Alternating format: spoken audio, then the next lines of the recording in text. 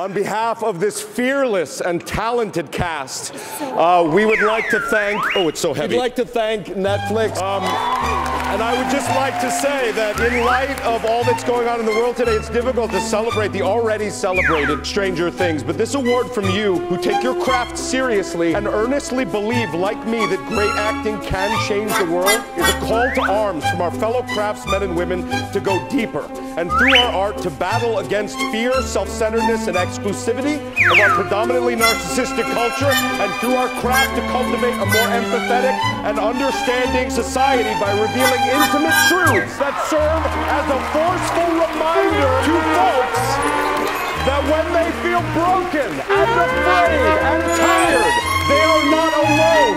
We are united in that we are all human beings and we are all together on this horrible, painful, joyous, exciting, and mysterious ride that is being alive.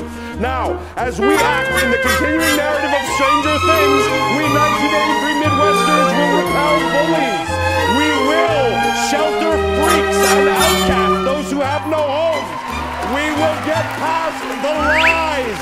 We will hunt monsters. And when we are at a loss amidst the hypocrisy and the casual violence of certain individuals and institutions, we will, as per Chief Jim Hopper, punch some people in the face when they seek to destroy the meek and the disenfranchised and the marginalized. And we will do it all with soul, with heart, and with joy. We thank you for this response.